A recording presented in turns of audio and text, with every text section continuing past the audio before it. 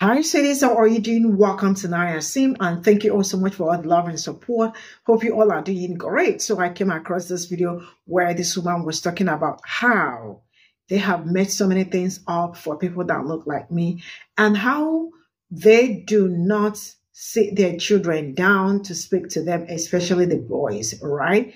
That if you look around what has been going on, mass people, that it's happening, it is people that look like them. And then people that look like her. And then they still blame it on people that look like me, right?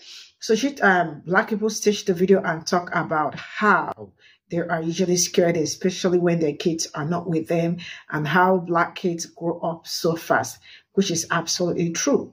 They do not get time to enjoy their childhood days because as you are growing, you are already being profiled, just going out alone because of just the color of your skin, right? Or if you are not profile, you absolutely look like the person they are looking for. You all already know how it is like.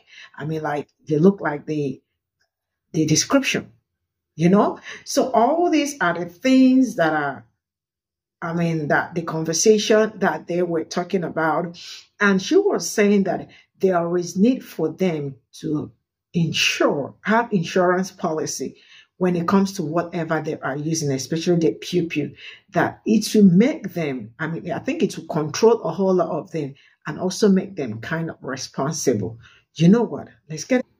For those who don't know, it has been scientifically proven that the trauma of enslavement is weaved into the, the DNA of black people in the diaspora, diaspora from the transatlantic slave trade. And in America, that was just a couple generations ago. So if they can have weaved into their DNA trauma, how do you think white people in this country who have massacred, colonized, genocided, and enslaved numerous groups of people, wiped certain groups off the face of the earth, okay?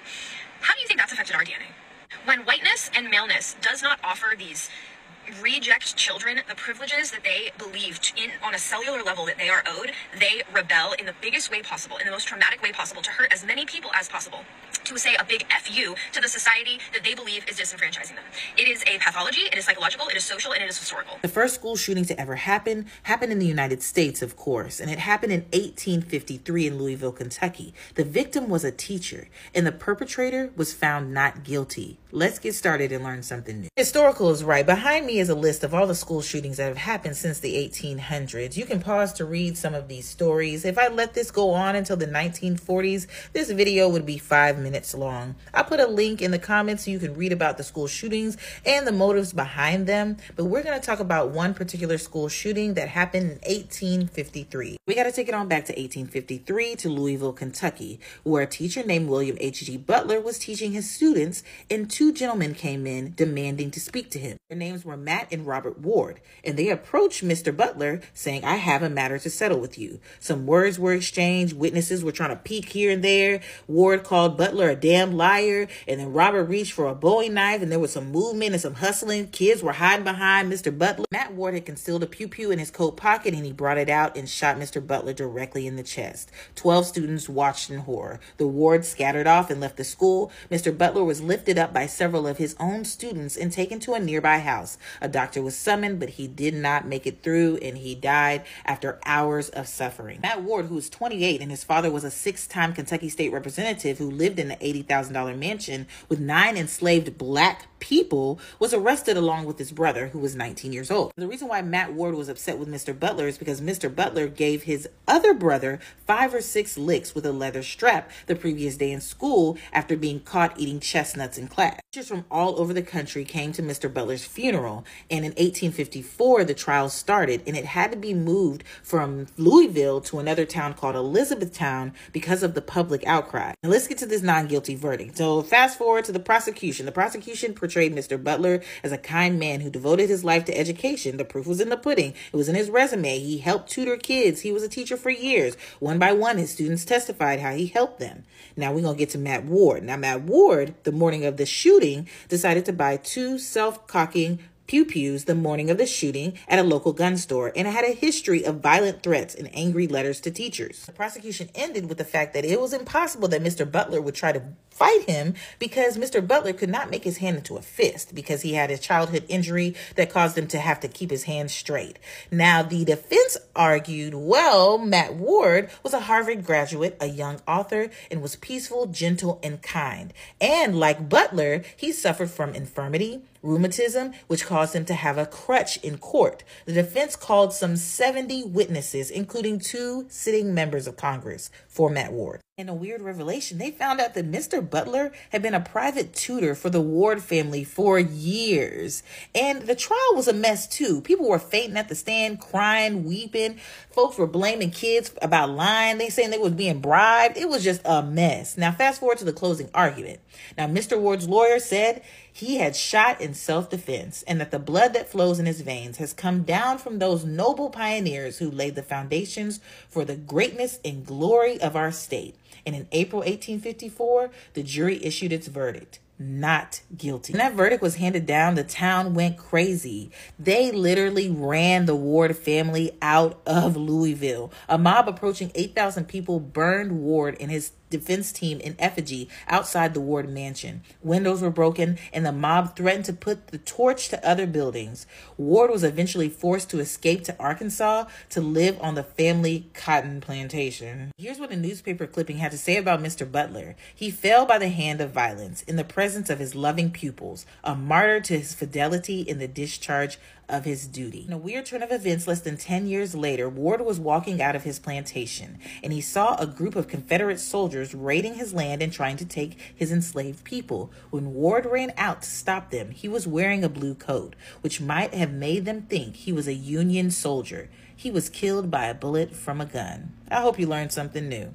White, middle class, conservative parents who live in suburbia raise these sons to exhibit these traits that lead them to be mass shooters. They foster and facilitate the antisocial ancestral rage that we see exhibited through the mass school shootings. It is not black kids, it is not Latino kids, and it is not girls. And please do not come into my comments telling me about outlier situations. We are clearly talking about a very specific MO and a very specific kind of violent act. Those of us raising middle class white sons need to get this so fucking perfect. There is no room for any margin of error. And it is not just about teaching your sons to talk about their feelings, it is teaching your sons that violence at this level is absolutely deplorable. It is criminal. It will cause you to not love them anymore. That is the fear that should be instilled in them on a cellular level. It is on us,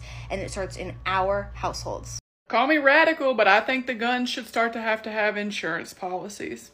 Sorry, that's my solution. If I gotta insure my Honda Civic, you need to insure your gun. As with anything valuable in this life, your health, your phone, your house, your car, you insure it. If your guns are valuable to you, it shouldn't be a problem to insure them. Could you imagine can't buy no gun till you got gun insurance, baby? Can't take it nowhere till you got gun insurance. Gotta show your proof of fucking insurance. If somebody does something stupid with their gun, then guess who's got to pay for it? The insurance company, and ooh, that's gonna put that's gonna regulate some shit real fast. If you're at my house and you fall off my roof, that's on my home insurance policy, right? If you're playing with my gun and you shoot somebody, that's on my gun insurance policy, right? Bitch, I ain't gonna let just anybody have my motherfucking gun. Hell no, I pay insurance on this bitch. I'm just saying, I don't say this often, but I think the insurance companies need to get involved. In fact, I don't think I've ever said that in my life, but I think the insurance companies. It's up to them. They're our last hope at Savior. Hey, yo, if the police catch you out with a gun that doesn't have insurance on it, uh, they can take it. You gotta go to court, get insurance on it, or prove you had insurance on it. You get your gun back because you're a responsible gun owner. Come on now. Y'all, this, this I know this will sound radical to some. To me, it sounds reasonable. I just seen somebody say that race has nothing to do with the issue of school shootings. Now, friend, friend, I need us to be so for real. The typical profile for a school shooter, matter of fact, I'll do you one better. A mass shooter is a white male. And what's so crazy about this is that black boys have been criminalized for years to the point where their lives have literally been taken because of perceived or assumed threat. I want you to hear me again. Perceived or assumed threat. For centuries, parents have had to raise black boys, teaching them that they need to be careful about how they show up because they don't want to be profiled. Centuries of this. And no matter how many of these mass shootings have happened and will continue to happen, nobody is profiling a little white boy. Not one per nobody is profiling a little white boy. They don't see them and be like, damn, I think they could be a school shooter. They certainly do that for crimes of violence with black boys. Now, what I will say is that it's not just an issue based on race. There's also the gender component because it is almost always boys. Why? Because boys are raised to be violent. That is a fact. Listen, listen. Argue with your mama. Argue with somebody say that race has nothing to do with the issue no, but really, let's talk about it. And as a black mother who has a black autistic son who has to engage and interact with you white women's children, it's time that we have the real conversation. And yeah, yeah, yeah, y'all got into your feelings a few months ago when I asked white people, what does it feel like to be white? But the truth is, I should have asked the rest of the community, the BIPOC community, what does it feel like to have to engage with white people all the goddamn time? What does it feel like to have to endure white privilege, white male privilege, when it comes to how you, as a non white person, function in society? Because one of the children that lost their lives in Georgia was an autistic black child, a little black boy. And that white boy was given the pass to take his life and won't even have the option of worrying about losing his because of it. He's not going to get the death penalty. He gets to live his life when that black autistic child lost his. But y'all were so triggered when I asked how does it feel to be you. What you should be worried about is what everybody else is thinking about having to put up with y'all shit. Because that's what all this white rage is really about. It's not you're being bullied or picked on or treated like you're such a horrible person just by virtue of being white. No. It's about the fact that y'all are actually the only demographic on the planet that everybody else can point at and blame for what the fuck is wrong in their communities. The truth is this, white America.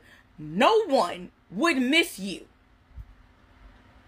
While in every other race, we have endured and functioned and thrived without the presence of white people. White America has never existed, thrived, or survived without exploiting the labor of everyone non white. Where's the legislation for your sons? When are your sons going to be stopped and frisked the way our black sons are? When is it going to be the time when you, as white mothers, get penalized for your poor parenting? When are your white fathers going to be held accountable for their piss poor parenting? When are your absent fathers finally going to be on the hook the way our black fathers are? The white family has been the standard that everyone else that's non white has been held to this entire time in this country. The mom, the dad, the two kids, boy and a girl, the little white dog, and the white picket fence.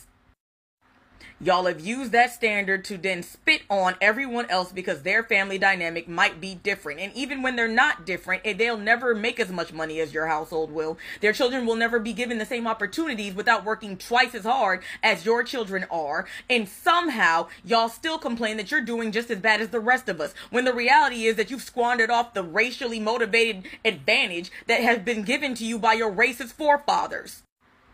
White privilege is an interesting shield because it's a physical one and it's a mental one. Y'all can block out what's happening to everyone else that's not white. And because you are white, you get protected from the real consequences that everyone else has to endure.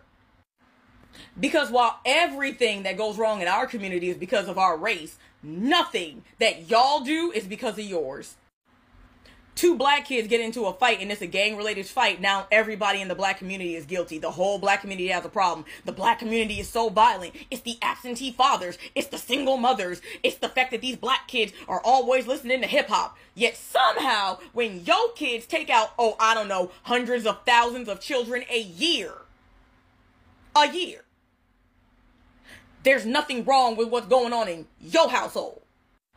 And when we complain about it as black people, oh, you have a slave mentality, you have a victim mindset, but you don't have an oppressor one, you don't have a genocidal maniac one, because it seems to me like if I'm fucked up because of my ancestors being enslaved, wouldn't you be fucked up for owning people? But Colt is only 14. He's just an innocent little boy. So was George Stinney Jr. Look him up. The youngest person ever to be executed by the electric chair in the state of South Carolina a little black boy who had his life taken from him because he was wrongfully accused of unaliving two little white girls when it was a white man that really did it. Think about that before y'all sit out here trying to make this about you and how you feel wronged by being called out based on your race.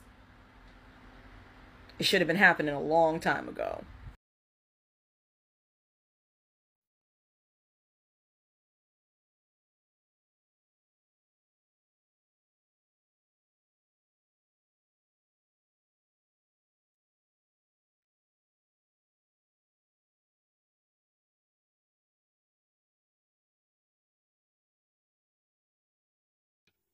So this is all I got from this video. And the truth is that uh, they just spoke the reality and that is absolutely on point.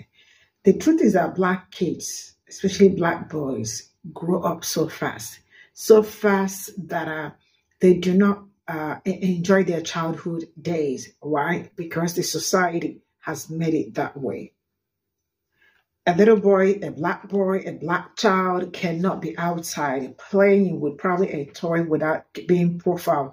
So you can imagine as a child, you are being profiled, let alone being an 18, because teens are also seen as adults. So we are the only people that get blamed because of our race and no, uh, they don't get blamed because of their race or because of anything. That is one of the reasons why they always tamper justice with mercy, especially when something happens, when they do something. And we do not get that mercy. We do not get that opportunity. I don't know if you understand what I am saying. This did not start today. This has been going on all years. Nobody wants to hear from a teen black boy. Nobody wants to hear from an, from an adult black boy. But if it is the other people, oh, that is a little boy. That is an innocent boy. You know, he didn't mean anything. It was just an accident. It is always an accident when it got to do with other people, right? But it is not an accident when it got to do with me or people that look like me. Make it make sense because the mouth ain't muffin, right? So for how long are they going to continue like this and not hold themselves responsible for most or majority of the things they do and the harm they also cause people? Because you cannot be causing harm to people and you all never take time or sit down to speak to your children.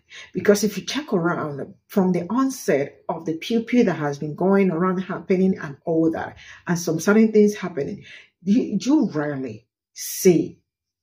I don't know if you understand what I'm saying. It is always the other side, and they still get pardon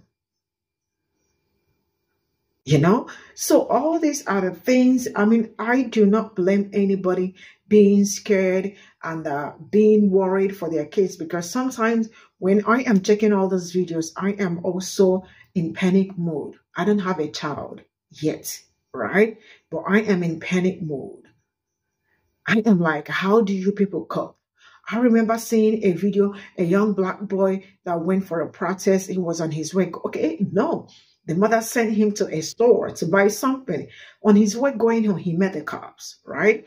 And it was like going back and forth, and uh, they were like trying to harass him. And thank goodness, there was another person recording a black woman, and she was like, you know, firing the cops, like asking them questions. Are you not gonna the young boy was so scared that he was screaming, My mama is waiting for me at home. I don't want anything to happen to me. That is to tell you how scared he was. He was really terrified and very scared for his life. Do I blame him? Of course, I did not blame him because a lot, he probably might have seen a lot. A lot may have also happened around him. Right? So all these are the things that people see or they experience. And you think that it is okay that they don't speak. We are going to, we keep speaking, we keep talking because a dead mouth, uh, sorry, a, a, a closed mouth, like I, it's a, a closed destiny or something like that, right? So we are going to keep screaming, keep talking about it because I remember what happened in Georgia, Apalachee, right? And the boy that did what he did, to my greatest surprise, the aunt actually came out to say, how can they charge?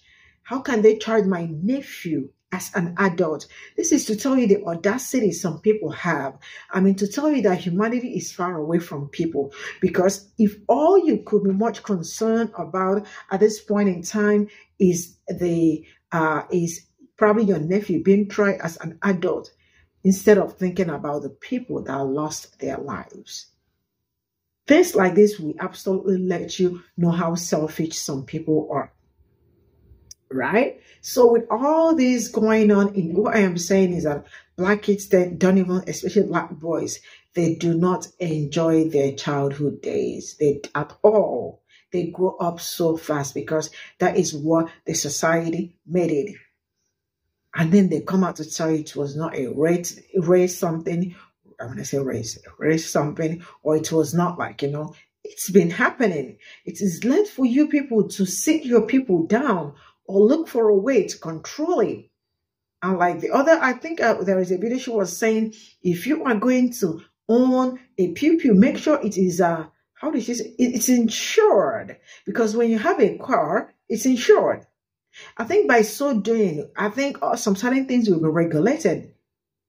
I mean, it's really, I can't just say it, but you always have to free my people, you know? We can't keep going through all this every day because in all the time, we are always the people that are being affected, most especially. Um, other people don't even get to experience what we experience. And yeah, so see you all in my next video. Bye for now.